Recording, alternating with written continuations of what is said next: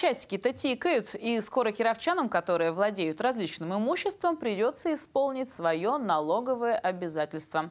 До срока окончания уплаты имущественных налогов за прошлый год осталось чуть больше недели. Спешат ли кировчане платить по счетам, знает Зоя Попцова.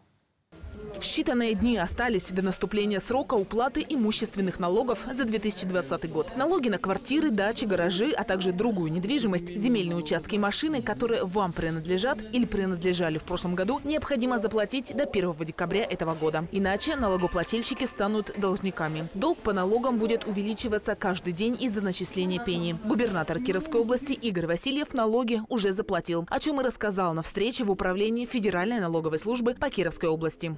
Я думаю, что у нас стало еще хорошей, так сказать, доброй э, традицией проведения таких акций, которые называются у нас «Начни с себя» по уплате имущественных налогов, поскольку это один из основных налогов, который пополняет казну э, муниципальных образований Кировской области, так сказать, в целом. Мне кажется, это очень важно. Акция «Начни с себя» – это проект УФНС, в котором сотрудники налоговой службы региона и члены их семей уплачивают имущественные налоги досрочно. Есть и налогоплательщики, имеющие право на льготу. Для них она начисляется автоматически. Те кировчане, сведений о льготах которых нет у налоговых органов, могут обратиться в любую инспекцию с заявлением, после чего будет произведен перерасчет налога. При этом сумма льгот для налогоплательщиков составила больше 490 миллионов рублей а это на 21% больше, чем годом ранее.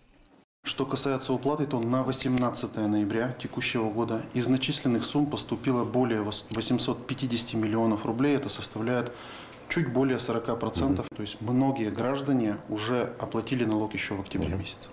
Кировчанам направлено 658 тысяч налоговых уведомлений. Из них 113 тысяч налоговых уведомлений в электронном виде, 545 тысяч налоговых извещений заказными письмами через отделение Почты России. Оплатить имущественные налоги можно в отделениях банков и банкоматах, а также не выходя из дома в режиме онлайн, через личный кабинет налогоплательщика или портал госуслуг.